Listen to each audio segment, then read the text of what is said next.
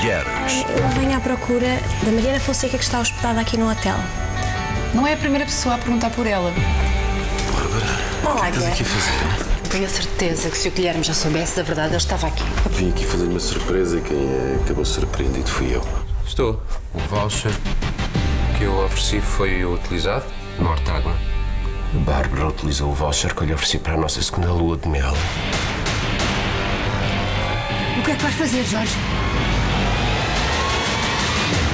Mulheres. Hoje. Na TVI.